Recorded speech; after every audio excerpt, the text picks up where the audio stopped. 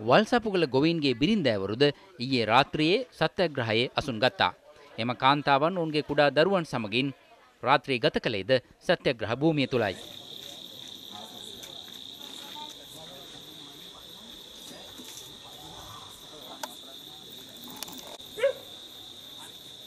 අපට අහන්න සිද්ධ වෙනවා මේ තාක් කාලයක් බලධාරීන් නින්දෙද හිටියේ කියලා. මාස එකහමාරක් අපේ ආර්ථිකය සම්පූර්ණ කඩා වැටලා තියෙනවා. මේ වෙනකොට දරුවන්ගේ අධ්‍යාපනය කඩා වැටලා තියෙනවා. අපේ පැටව් අපි මදුරුව විදිනකොට අලිය තලනකොට අපි බේරගෙන මේ තාක් වෙන කෙනින්නේ ඔබතුමාලගේ දරුවන් ගැන ඔබතුමාලා හිතන්න වගේ තමයි අපි හිතන්නේ. ඔබතුමාලට දුක නැතුව ඇති දරු දුක.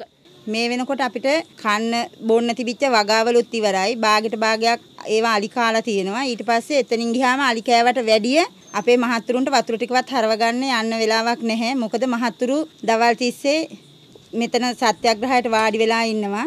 අපටත් නිදහසේ අපේ දරු පැටව් එක්ක එදා වේල හොයාගෙන කාලා බීලා නිදහසේ ජීවත් වෙන්න අපේ වටපිටාව හදලා දෙන්න කියලා තමයි අපි බලධාරීන්ගෙන් නොනවත්වාම ඉල්ලන්නේ ඒ දේ විතරයි